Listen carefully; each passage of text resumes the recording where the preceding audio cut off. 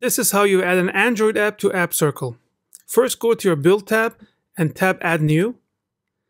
And then from the target operating system, select Android. And from the platform, select Java and Kotlin since this is a native Android app. So I'll just give this a name. And then hit save.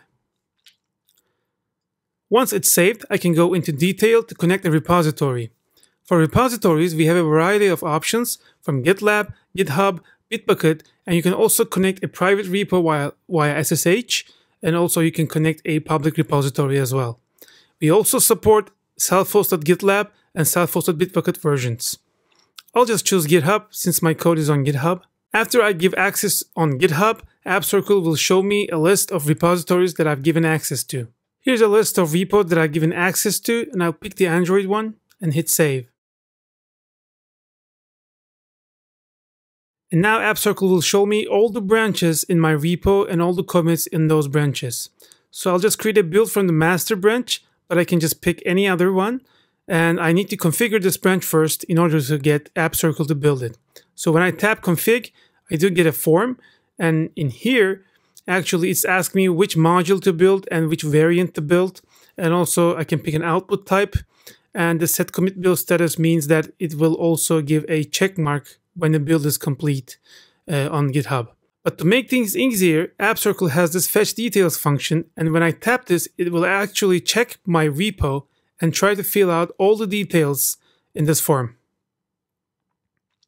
Now AppCircle has checked my repository and filled these fields for me, so there's only one module inside the app, and there are also two variants, for one for debug and one for release, and I can type something manually in here as well, so these are not just set in stone.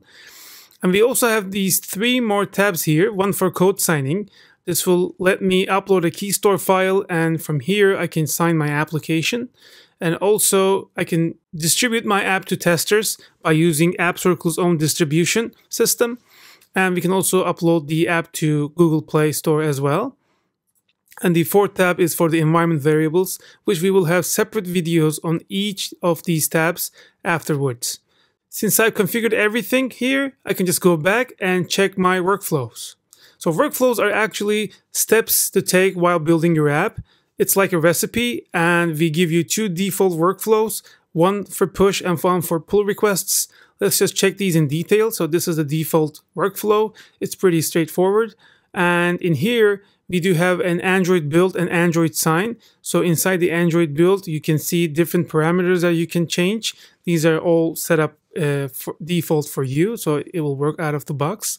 And also in the Android sign, I really want to mention that if you're using V2 sign scheme, then you have to set this to true. So this is something to look out for. But this configuration is fine.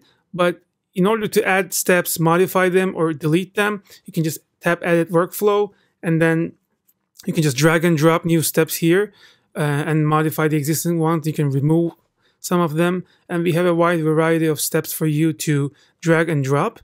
Uh, but this workflow is fine, and I will just proceed with this.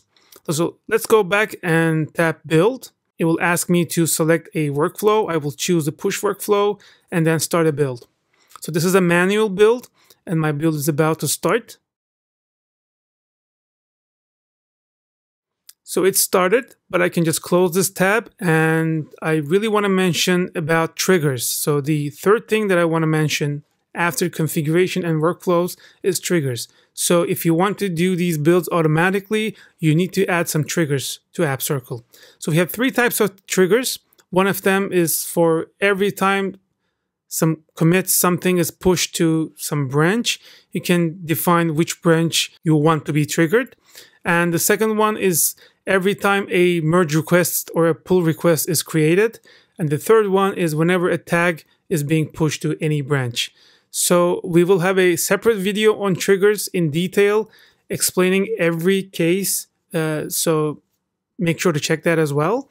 But let's just go back and check our build status. So it's running Android build right now. And in, in a few minutes, we will have the result and the build is complete. So this is how you add an Android app to AppCircle. See you on the next videos.